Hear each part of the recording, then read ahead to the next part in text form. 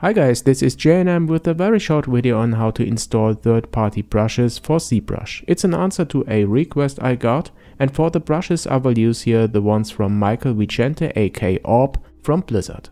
The link to his brush pack is added to the description below.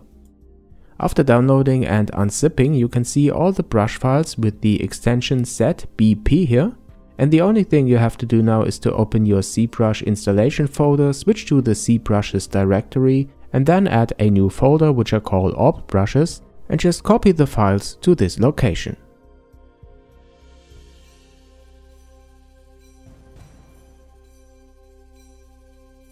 And now you can start ZBrush, I am using version 4R8. I open the Lightbox and choose here a project with a Dynamesh. And for this I increase the resolution to let's say 500.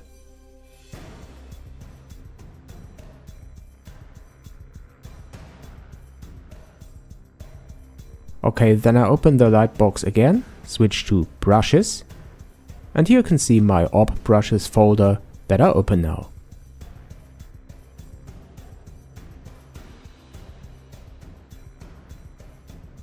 Alright, and now let's go ahead and sculpt a little bit around with this amazing brush set.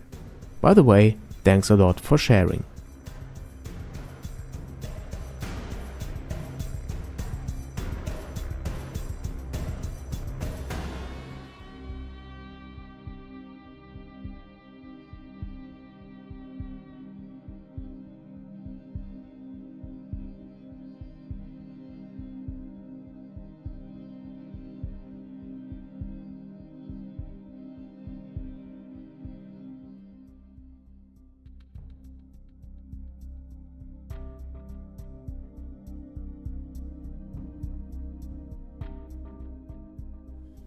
Okay guys, I hope this answers the question and you find this short tip interesting. Please don't forget to subscribe to my channel, stay tuned, and if you have any other questions, feel free to add them to the comments below.